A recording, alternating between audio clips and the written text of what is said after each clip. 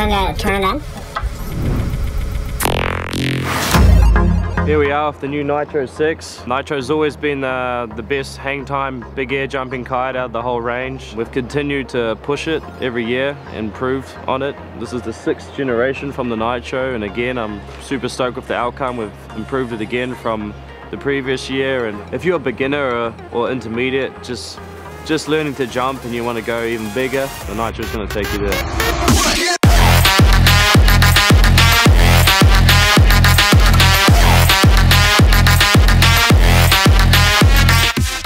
Super fun kite, incredibly easy to jump and have massive hang time but also make a nice smooth soft landing. It's very important to have a soft landing kite. You don't want to go very high and just fall out the sky without control. The good thing about the Nitro, you have so much control on the way down to make a perfect nice soft landing and carry on riding. We've improved the turning speed yet again, so now the Nitro 6 is even faster than the Nitro 5.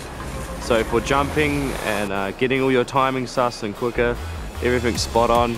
You get a quicker slingshot effect and you can jump higher than before than the Nitro 5. Improving the turning speed has given the kite a better overall performance in kite loops and mega loops.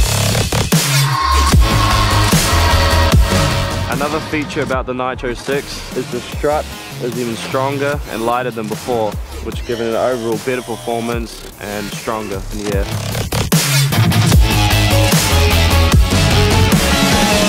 The Nitro has great wind range, very good uh, low end and very good high end. It's super smooth in the air, super nice to handle. If you've ridden New Zealand before, you know New Zealand's a pretty gusty place to kite and the Nitro just eats the gusts up for breakfast. So uh, yeah, super stoked with the outcome with the new Nitro 6.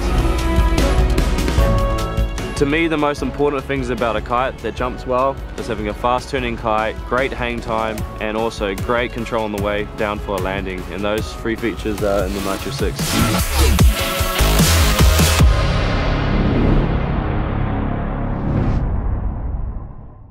Turn it, turn it on. Here we are with the new Nitro 6. Nitro's always been the, the best hang time, big air jumping kite out of the whole range. We've continued to push it every year and